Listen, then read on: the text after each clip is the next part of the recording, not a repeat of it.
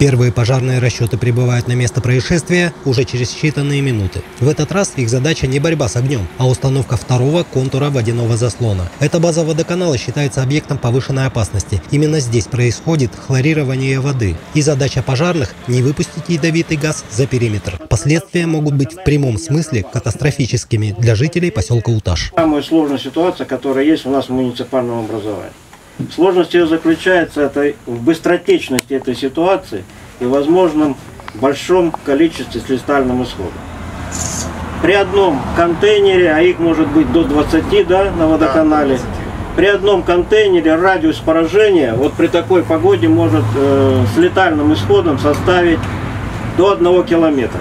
Первыми к ликвидации очага заражения приступают сотрудники водоканала. Хлор – это тяжелый газ, поэтому он в большинстве случаев стелится по земле. Часть работников уже по первому сигналу тревоги установили первое кольцо водяной защиты вокруг боксов с хлором. Другие работают внутри здания по ликвидации утечки газа. Своими силами эвакуируют условного пострадавшего, который оказался в эпицентре аварии. Пожарные, в свою очередь, создают вторую линию водяной завесы, делая дополнительную защиту.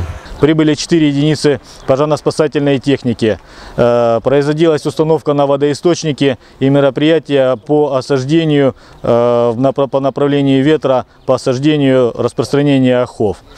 Э, силами личного состава Анапского пожарно-спасательного гарнизона мероприятие проводилось средства защиты органов дыхания э, в костюмах защиты Л-1. После ликвидации условной угрозы пожарные провели инспекцию по территории объекта. Были проверены пожарные гидранты и дополнительные источники водоснабжения, к которым огнеборцы смогли подключиться. Впрочем, специалисты водоканала уверены, возникновение такой ситуации практически исключено. У нас есть паспорт безопасности, который делают нам специализированные организации, научно-исследовательные исследовательские институты. Вот в соответствии с паспортом безопасности 2,6 на 10 в минус седьмой степени вероятность того, что может произойти, что, что данное событие, то, что произошло, э, произошло сегодня. После проведения учений в выездном штабе было проведено оперативное совещание, на котором подвели итоги. Общая оценка – хорошо.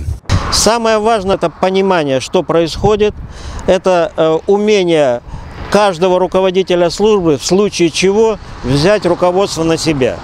Вот это вот основной момент, который я хотел бы подчеркнуть. Это и до учений, и по э, итогам учений, которые мы коротко провели совещание, э, есть понимание у каждого руководителя служб, кто первый зайдет в район возможного заражения, как себя действовать, какие силы должны привлекаться, как будет осуществляться обмен информацией между службами. Я считаю, что на данном этапе эта задача достигнута. По итогам учений будет проведен полный анализ действий каждого подразделения. Существующие замечания будут доведены до руководителей и личных составов всех специальных служб. Руслан Душевский, Анапа регион.